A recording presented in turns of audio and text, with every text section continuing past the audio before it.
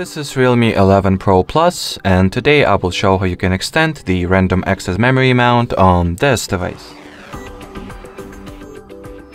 First you will need to open settings.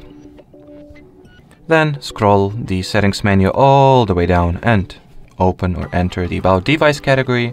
Onwards tap at the RAM. Turn on the RAM expansion toggle Select how many gigabytes you would like to expand or increase your random access memory for. In my case, I'll go with the highest value of 12 gigabytes. And then reboot your device in order for those changes to be properly applied. And well, that'll be it. So thanks for watching, thanks for your attention, and bye bye.